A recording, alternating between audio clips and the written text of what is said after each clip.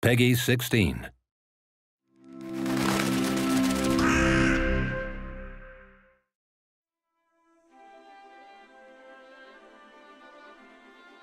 Just as I'd been a kid who grew up reading comics and then sat in his bedroom drawing his own comics, they were kids who'd grown up playing games and sat in their bedrooms creating games. Revolution games were a big influence and obviously Charles Cecil is a big part of that. When I write stories and come up with locations and, and characters, if I'm not excited by them, I can't imagine why anybody else would be. What do you remember ultimately in a game? Do you remember when you've killed a certain number of enemies, or do you remember the storyline and, and, and, moving through the whole story with, with those characters? It presents a breath of fresh air when, when you're looking throughout the games sector as a whole. It's something that's different and appeals to a different audience as well. Without your audience, you have nothing. We had a profound respect and gratitude for our audience. They talked about our project, and, and it was their project. It was all of our project. It was absolutely about a collaboration. It starts with the story. It becomes almost more important